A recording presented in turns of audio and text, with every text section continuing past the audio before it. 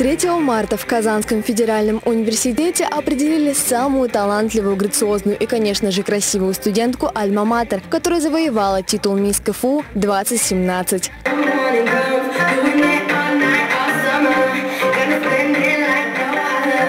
Миска ФОУ 2017 – это первый подобный конкурс, который был организован Департаментом по молодежной политике совместно со студенческим клубом КФУ, Ассоциацией студентов деревни Универсиады, а с организатором выступила общественная организация «Мисс Татарстан». В конкурсе участвовали не только студентки из России, но и из Китая, Узбекистана и Камеруна. За титул «Мисс КФУ» в этот вечер поборолись 16 финалисток, которые прошли очный тур конкурса. В первом же этапе конкурса зрителям и членам жюри удалось поближе познакомиться с участницами, ведь были показаны видеоролики об участницах, где они рассказали о себе, своих успехах и планах на ближайшее будущее. Вторым этапом стал творческий номер. Девушки продемонстрировали свои таланты, студентки из-за рубежа познакомились со своей культурой, переместив на пару минут зрителей в свою страну.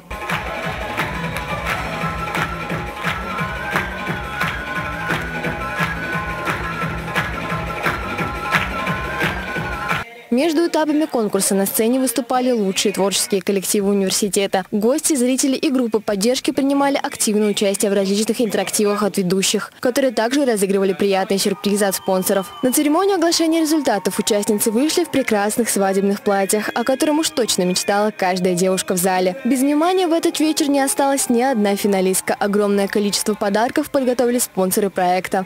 Обладательницей титула «Мисс КФУ 2017» стала Полина Горюнова студентка первого курса Института вычислительной математики и информационных технологий КФУ.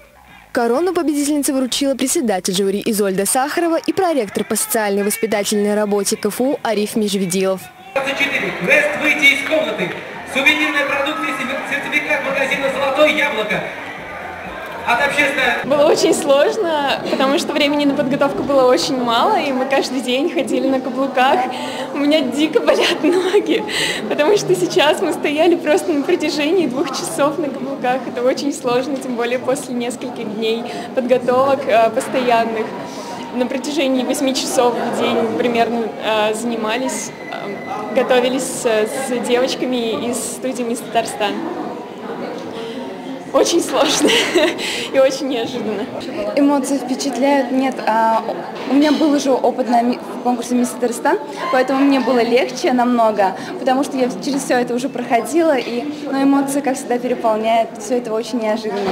Стоит отметить, что победительница конкурса получила не только массу подарков от спонсоров, но и попала в финал конкурса «Мисс Татарстан-2017» без участия в отборочном этапе. Диана Шилова, Ленар Давлетьяров, Univer News.